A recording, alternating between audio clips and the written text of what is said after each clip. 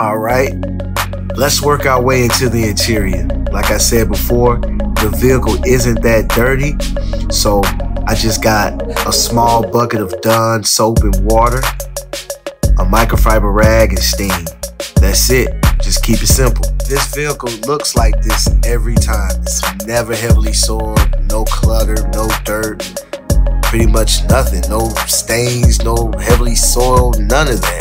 So that's why I like the Harbor Freight steamer because it's versatile.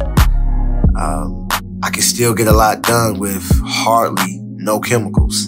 I've been using these type of steamers for years. They don't cost that much. They're around about a hundred bucks. Uh, but I've never had any big issues with them. I never destroyed a vehicle or any electronics with this steamer. I just try to keep at least six inches away from what I'm cleaning. Also, as you can see, I always keep it moving.